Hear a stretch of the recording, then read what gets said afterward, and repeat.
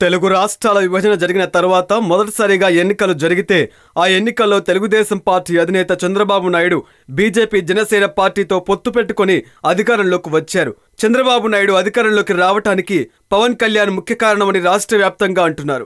ఇక రెండు వేల పంతొమ్మిది ఎన్నికలు దగ్గరకు వస్తున్న తరుణంలో కొద్ది రోజుల క్రితం పవన్ కళ్యాణ్ గుంటూరు నగరంలో జనసేన పార్టీ ఆవిర్భావ సభను ఏర్పాటు చేసిన సంగతి తెలిసిందే. ఈ సభలో ఎవరు ఊహించని రీతిలో ముఖ్యమంత్రి చంద్రబాబు నాయుడు అలాగే ఆయన కుమారుడు మంత్రి నారా లోకేష్ టీడీపీ ఎమ్మెల్యేలపై సంచలన వ్యాఖ్యలు చేశారు. టీడీపీ అధికారంలోకి వచ్చిన తర్వాత విచ్చలవిడిగా అక్రమంగా ఆస్తులను సంపాదించుకున్నారని చెప్పి టీడీపీ నాయకులను షాక్కు గురి చేశారు. అంతేకాదు వారు చేసిన అవినీతిపై తన దగ్గర సాక్ష్యాలతో సహా అన్నీ ఉన్నాయని స్పష్టం చేశారు. ఆ తర్వాత నుంచి పవన్ జనసేన పార్టీని రాష్ట్రంలో బలోపేతం చేసేందుకు ప్రజా పోరాట యాత్ర పేరిట ప్రజా సమస్యలను తెలుసుకోవటానికి శ్రీకారం చుట్టారు. అయితే ఈ పోరాట యాత్ర ముందుగా ఉత్తరాంధ్ర శ్రీకాకుళం నుంచి పవన్ మొదలుపెట్టి ముఖ్యమంత్రి చంద్రబాబు నాయుడు చేస్తున్న పరిపాలనపై తీవ్ర స్థాయిలో విమర్శలు చేశారు. టీడీపీ నాయకులు కేవలం అమరావతిలోనే అభివృద్ధి చేస్తున్నారని ఉత్తరాంధ్ర రాయలసీమలో అభివృద్ధి చేయకున్నారని విమర్శలు చేశారు. ఇక ఈ మధ్యకాలంలో పవన్ పోరాట యాత్రకు బ్రేక్ పడిన సంగతి తెలిసిందే. ఇక తాజాగా